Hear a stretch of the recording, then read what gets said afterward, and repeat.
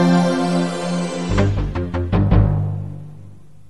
I legali di Alex Danut, il cinquantenne romeno che due anni fa travolse ed uccise mamma e figlia a Salleo, hanno chiesto per l'uomo la libertà anticipata. In primo grado Danut era stato condannato per quel duplice omicidio a nove anni e due mesi di carcere, pena ridotta nel secondo appello di giudizio a cinque anni e due mesi e dunque sostanzialmente dimezzata, scelta che fece esplodere la rabbia dell'intera cittadinanza. Ed adesso la difesa dell'uomo ha chiesto al Tribunale di sorveglianza un ulteriore sconto di pena alla libertà anticipata, ossia ossia la riduzione di 45 giorni ogni semestre in base alla buona condotta. La risposta dei giudici potrebbe arrivare a breve. Era il 31 gennaio 2016 quando Danut, ubriaco al volante della sua minicar, travolse la piccola Letizia di appena 10 anni, la mamma Marzanna, mentre camminavano sul marciapiede a Salleo, paese alle porte di Arezzo. Le due persero la vita in quel drammatico incidente. Nel sangue di Danut un tasso alcolemico quattro volte superiore al consentito.